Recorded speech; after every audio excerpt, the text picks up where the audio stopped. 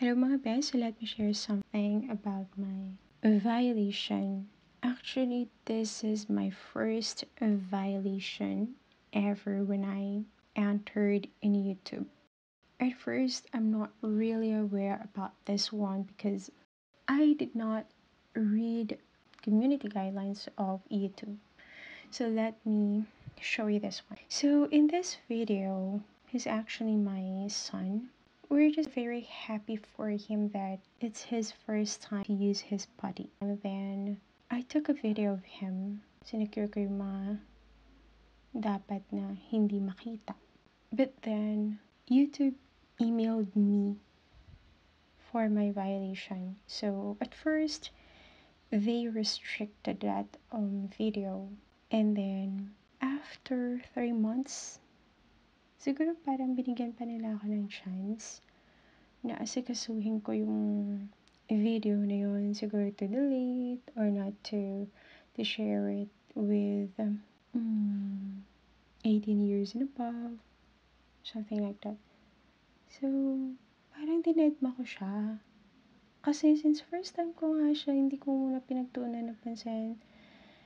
Dahil it's not for monetization yung plan ko about this one.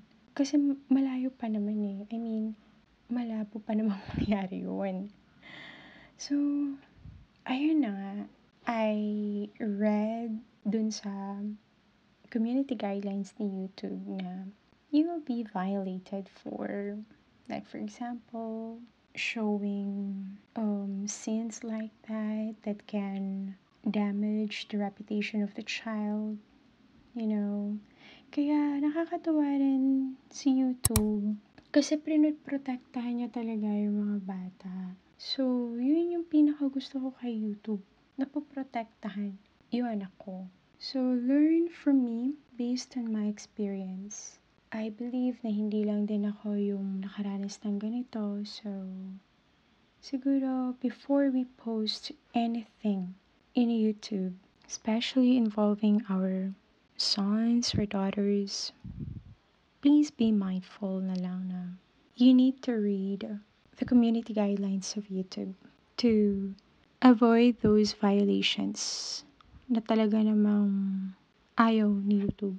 So, it's for us na rin, for our sons, daughters, to protect them. Kaya, be mindful in sharing something. Kasi when the child is involved na, dun sa video, whether you like it or not, na i-public yung comment section, it will be automatically disabled. So, let's follow na lang the rules of YouTube. Protect our sons and daughters at all costs, at all means. And yun lang mga be. Sabi nga, sharing is caring. So, thank you so much for watching. Enjoy your day. Bye!